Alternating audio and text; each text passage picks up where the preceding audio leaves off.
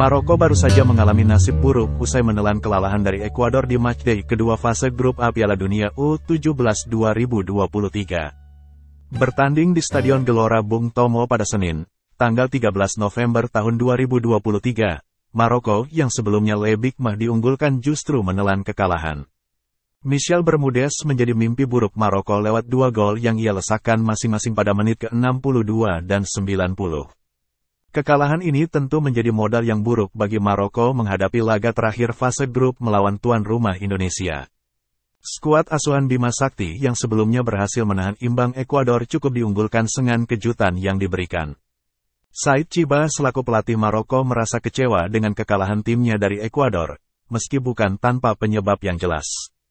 Menurut Said Chiba, kekalahan Maroko dari Ekuador tak lepas dari penurunan kondisi fisik para pemainnya yang berhasil dimanfaatkan lawan. Bicara soal pertandingan selanjutnya, Indonesia akan jadi lawan Maroko di laga terakhir babak penyisihan grup A Piala Dunia U17 2023. Indonesia tampil mengejutkan saat menahan imbang Ekuador, hal itu tentu diwaspadai Maroko sebagai lawan terakhir. Kesempatan Indonesia memenangi pertandingan melawan Maroko pun dibilang terbuka lebar setelah hasil tersebut. Said Ciba pun seolah pasrah dengan kondisi yang terjadi, ia bahkan mengaku siap meminta maaf kepada masyarakat Maroko jika timnya kalah dari Indonesia.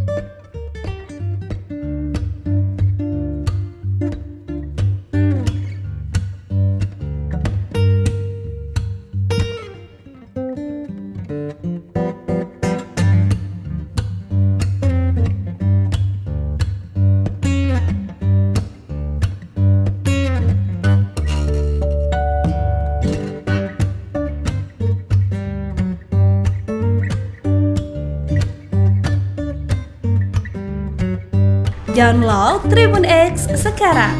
Menghadirkan lokal menjadi Indonesia.